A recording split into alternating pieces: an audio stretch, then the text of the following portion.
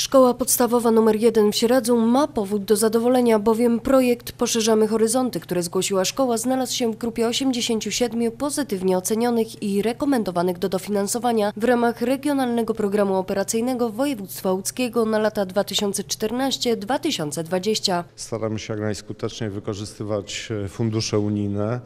E, Konkurs, e, kilkadziesiąt wyłonionych e, projektów, e, kilkadziesiąt milionów zaadresowanych e, do e, szkół. E, To wsparcie dla e, uczniów, e, dodatkowe zajęcia, e, organizacja pracowni e, tematycznych, wspieranie szczególnie nauk e, przyrodniczych, e, ale też e, wsparcie dla nauczycieli, finansowanie e, podnoszenia e, kwalifikacji, e, tego by proces nauczania był e, jak najskuteczniejszy i najbardziej przyjazny e, dla uczniów. E, Myślę, że e, dzięki funduszom unijnym, dzięki zaangażowaniu e, samorządowców, e, dzięki nauczycielom e, oświata zmieniła e, w istotny sposób swój wizerunek w ciągu e, ostatnich e, lat i e, można tylko zazdrościć, że e, przychodzenie do szkoły e, pewnie sprawia coraz większą przyjemność e, uczniom. Co ciekawe, projekt edukacyjny Poszerzamy Horyzonty skierowany jest nie tylko do uczniów, ale również do nauczycieli. Jest to projekt edukacyjny tak naprawdę skierowany nie tylko dla ucznia, ale również i dla nauczyciela, ponieważ w ramach tego projektu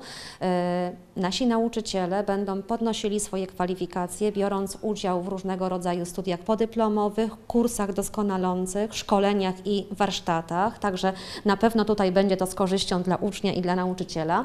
Natomiast e, jeśli chodzi o ucznia, to przygotowaliśmy dla niego bardzo bogatą ofertę, ponieważ będą to zajęcia dydaktyczno-wyrównawcze z matematyki, z informatyki, z języka angielskiego, różnego rodzaju koła zainteresowań, też związane właśnie z tymi przedmiotami, e, koło przyrodniczo-eksperymentalne, ale tutaj też mm, mamy zaplanowane zajęcia takie specjalistyczne, korekcyjno-kompensacyjne, logopedyczne, surdologopedyczne, czy też z terapii pedagogicznej. Na pewno nie lada atrakcją dla dzieci będzie udział w zajęciach z hipoterapii, z dogoterapii, czy też zajęciach terapii ręki. W szkole powstanie również pracownia radosnej twórczości dziecka. Sala będzie przeznaczona na zajęcia dydaktyczno-wyrównawcze. Będą tam również prowadzone zajęcia z dziećmi o specjalnych potrzebach edukacyjnych. Ta sala zostanie odnowiona, wyposażona w nowe komputery.